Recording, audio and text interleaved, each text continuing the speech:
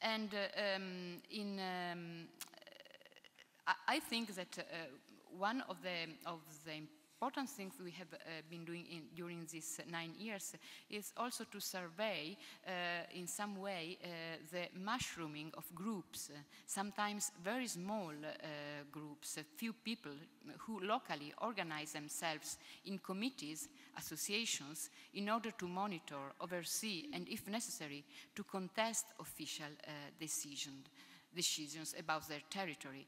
Uh, obviously, we, we, cannot investigate the composition and the real aims of these committees, and we limit ourselves to register their statements uh, and the interest on cultural heritage. But uh, uh this movement, uh, which is a very scattered and fragmentary movement, uh, I think it's a, a mm, it's a, a, a, very good, a very important trend. Um, uh, we think important to document it now because it can be short-lived. Uh, and um, especially in a country uh, like Italy, it is important to survey these uh, movements because uh, in Italy people of, have often complained about the limited attention to art heritage and landscape. And so we feel this revival of civic conscience is uplifting. Uh, now, why am I here today uh, in a conference about museums to speak about uh, this experience, to tell you about this experience? Clearly, museums are not our main focus uh, because, uh, as I told, we are uh, equally interested in landscape and in town planning, as well in excavations, in archaeological sites, in church property, etc. Nonetheless, museums are an important part of our heritage, and we are careful to follow the vicissitudes of our own as well as of foreign museums. For example, we have been following attentively some cases, such as the Abu Dhabi Louvre, collecting articles also from the foreign press in this case, uh, because um, the, the um, Abu Dhabi Louvre has aroused great interest also in Italy. Uh, it has immediately been, it has been proposed as a model for Italian museums too. Um, we also look at and report about the new forms of management of Italian museums, such as the system adopted by the Museo Egizio of Turin.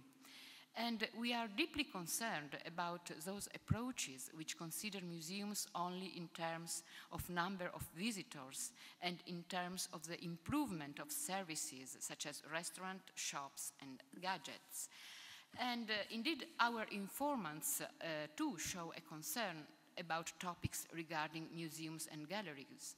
Uh, among uh, many examples, uh, I can mention the short essays by an expert on the history of the Galleria Corsini at Rome, Enzo Borsellino, about the future of the collection, which until recently ran the risk of being dismembered and united to the Barberini collection, and now runs the risk to be displayed according to the inventory of 1784 in this way, many important paintings acquired after, purchased after uh, 1784 would be transferred away. Another example is furnished by uh, Fulvio Cervini of the University of Florence with an essay entitled Protection Doesn't Exist Anymore, and then um, Italian expression which is very difficult to, uh, for me, it's very difficult to translate into English. Parola di ministero. It's, an, uh, it's obviously ironical. Um, it could be official statement by the ministry. And um, he comments, Cervini comments uh, the, sorry, this was, uh, I, I forget, forget, uh, a list of the, uh, um, Cervini comments the bombastic announcement in this essay. Uh, he comments the bombastic announcement made last summer by the General Director for Promotion uh, of the Ministry of Culture. Um, and uh, uh it was an uh, announcement um, on the increase of visits in 2010. Um, this is a dépliant who was printed in that occasion and uh, you see more than 18 uh, million visitors uh, in the 419 state museums during the first half of 2010, plus 12.20%. These results are observed by a young man taken from a portrait by Antonello da Messina. Uh, not only this portrait is not in an Italian collection, it is in the National Gallery uh, in London, So paradoxically, a painting purchased in Genoa in 1884, more than 20 years after the Italian unification, indulgently cheers the successful figures of Italian national museums. But another paradox is pointed out by Cervini. The serious young man of uh, Antonello has been uh, turned into a smiling young man.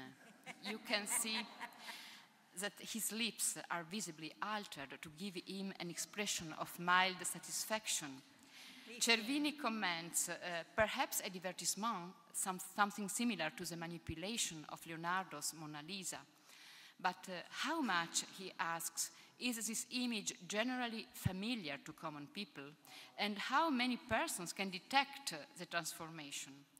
And uh, we could further ask, if someone, someone happy was needed for the ad, why not a man who has been smiling since it was created?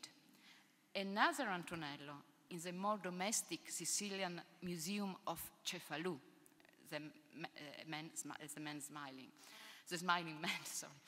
Um, if the maquillage were not a divertissement, the manipulation of this image could be considered as the quintessence, quintessence of a very care, careless approach to works of art and to museums, and it is against this careless approach that we daily work. Thank you.